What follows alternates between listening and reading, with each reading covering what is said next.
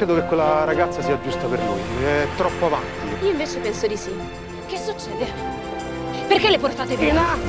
Dove le portano? Hanno rimpatriato Tina e Catalina. Vado in Albania a sposare Tina. Arriva su Rai 1 Ognuno è perfetto, una commedia tenera ed emozionante che racconta l'incredibile avventura di un gruppo di ragazzi in un viaggio unico e indimenticabile.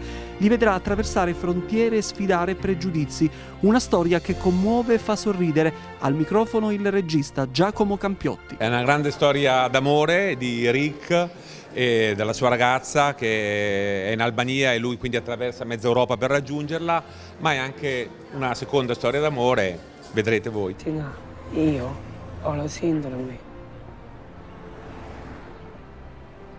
Quando li guardo negli occhi, io non la vedo. Questa storia dal titolo Ognuno è perfetto ti racconta di quanto poi ogni essere umano sia mosso da- dagli stessi istinti, dal- in questa storia in particolare dalla ricerca della felicità. Poi ognuno con i suoi mezzi, con le proprie capacità, ma questo ci accomuna. E all'interno di questa storia questi ragazzi portatori della sindrome di Down e con disabilità diverse all'interno di questo reparto di packaging insegneranno a quelli che in questa storia sono i normodotati e che lo sono anche da un punto di vista diciamo genetico, com'è necessario liberarsi anche di una serie di autolimiti per rincorrere alla felicità, all'amore e quindi essere felici e non aver paura di rischiare. Ciao, io sono Cristian. Il mio personaggio è Christian, un ragazzo orfano con dei problemi eh, che vive e lavora all'interno di questa comunità, la fabbrica di cioccolato dove ci sono anche gli altri ragazzi e di fa parte di questo gruppo di ragazzi speciali eh, ed insieme insomma fanno questa avventura d'amore incredibile, insomma ora su Rai 1 vedrete fra pochissimo.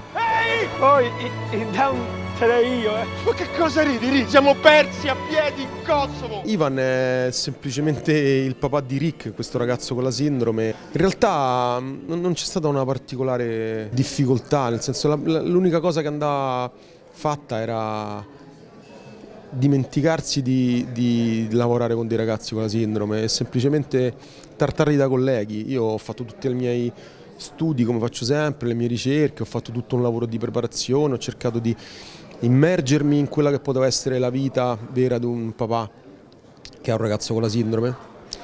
E poi quando sono arrivato sul set ho buttato via tutto perché bastava guardarci con Gabriele e, io ho dovuto imparare a volergli bene lui già mi voleva bene da prima e questa è la cosa che, che è stata incredibile. Per me ha altro di più di emozionante, in senso che ho fatto amicizia subito con gli altri, con, sia con- che sia dietro alle telecamere, con tutti. Quindi la mia e- emozione è, è fare proprio una fiction con la fidanzata mia.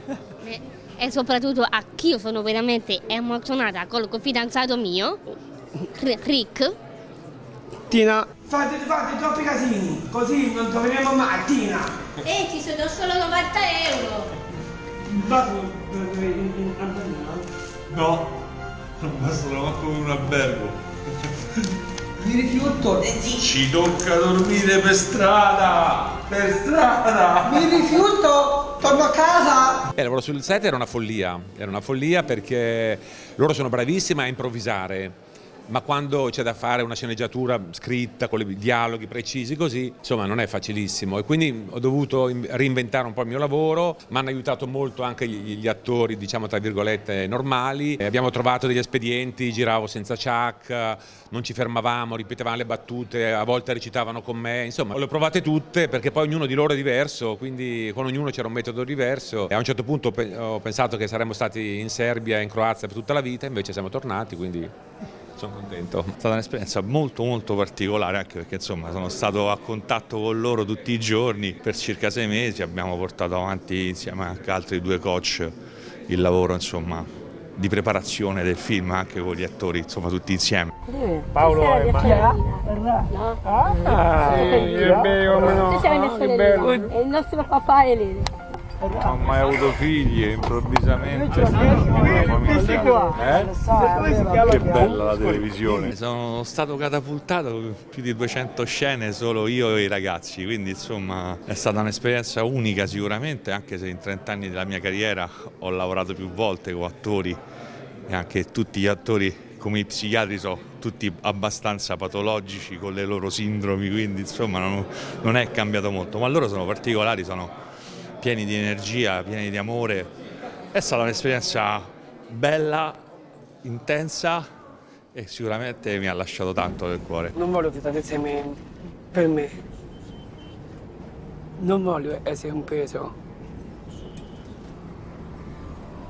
Ehi, guarda che non sei mai stato un peso per noi. Se vi lasciate mi sta nemmeno addosso. Adesso sono grande. Anzi, stasera pago io. Però... Beh, papà? Sì? Dove i soldi? Penso che è un film molto divertente, un film per tutta la famiglia, e, però oltre al divertimento forse ci, ci fa un po' riflettere sul concetto di normalità e diversità.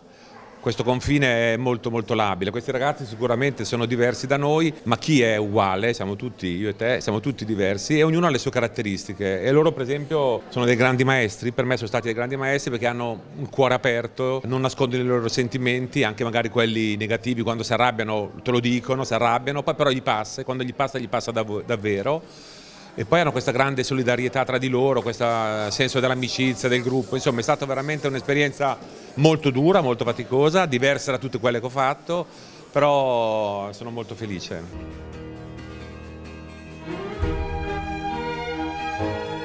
Ti voglio bene, Rick. Rispetto. Chi soffre tanto ha un cuore grande. Io sono capo reparto. Non è colpa mia se siete molto sexy. Mi serve proprio una donna. Ho passato la vita pensando di doverti insegnare tutto. Invece da te non finirò mai di imparare. E agli amici della Voce dello Spettacolo un saluto, ci conosciamo da tanto tempo, non traditemi neanche questa volta, non sarete delusi. Un grande saluto agli amici dello spettacolo. Ciao, Ciao, ragazzi, ragazzi. Non, non- non la A perdete. questa sera. Ciao. Ciao.